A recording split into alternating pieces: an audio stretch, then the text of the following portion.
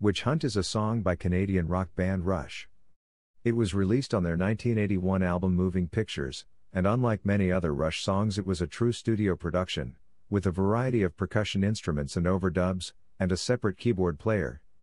It is the first of four songs in what has been called the band's Fear series, the other three being The Weapon, from Signals, 1982, The Enemy Within, from Grace Under Pressure, 1984, and Freeze, from Vapor Trails, 2002, although this song is the third part of the series in order, and went on reverse chronological order by the album, except the freeze is the exact fourth part like normal chronological order. Neil Peart described, Parts 1 and 2 do exist in my notebook.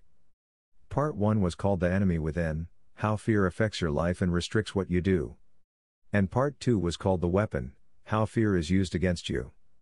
How other people keep you in your place, or keep you out of their place. Neil Peart confirmed the original Fear trilogy was already completely written at the time of the release of Witch Hunt in 1981. The song opens with the sounds of a mob, which Lifeson explained was recorded outside Le Studio on a cold December day with the band and others shouting, warmed by a bottle of Scotch whiskey. They recorded a dozen tracks of this. The lyrics describe how a vigilante mob gathers under torchlight, distorting the features of the twisted and grotesque faces, the righteous rise, with burning eyes, of hatred and ill will, madmen fed on fear and lies, to beat and burn and kill. The lyrics do not explain what the mob intends to do, but in the second set of stanzas indicate that the mob feeds on xenophobia and religious zealotry. They say there are strangers who threaten us, our immigrants and infidels, they say there is strangeness too dangerous, in our theaters and bookstore shelves.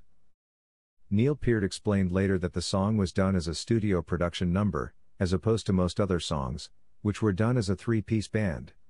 It features a broad array of percussive instruments gong bass drums, wind chimes, glockenspiel, tubular bells, conga, cowbell, vibra slap, and various electronic effects. Cover designer Hugh Syme contributed synthesizer, and in one verse the drums are double tracked. Music critics described it as the most reworked and fretted over song of the album. The song was recorded on the same day as the death of John Lennon. Geddy Lee commented, We were right in the middle of recording it when that all went down. I remember the day Witch Hunt was recorded. Sadly, it was the same night that John Lennon was shot in New York. We were right in the middle of recording it when that all went down. It's one of those songs that means as much today, if not more, considering what's gone on in the world with racial profiling and all these different issues. The sentiment of that song is as appropriate as ever. The foreboding song's lyrics are written by Neil Peart, and they criticize intolerance, the context of the moral majority of the late 1970s and early 1980s, when those who know what's best for us were invited to rise and save us from ourselves. The song seems incredibly relevant today, given how intolerant and angry we are today. The song was not played live until three years later, on the tour for Grace Under Pressure.